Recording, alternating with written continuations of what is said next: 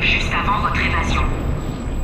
Ça n'avait rien de personnel, mais enfin, vous voyez, vous m'avez tué après tout. Ah Bon, c'est maintenant qu'il nous tue.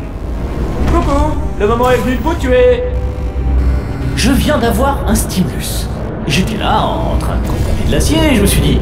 Qu'est-ce... Non, non, non, non, non, non, non, non, non, ne faites pas ça, ne bougez pas Allez, démarre, démarre, démarre, démarre Revenez, revenez écoutez, revenez, quoi, allez.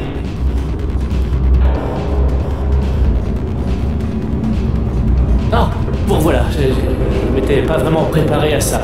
Euh, pas possible de rebooter le piège mortel. Ah, je sais. Vous pourriez sauter dans la fosse, comme ça, sans chichi? Pourriez-vous avoir l'obligeance de, de sauter dans cette fosse? La fosse mortelle, là.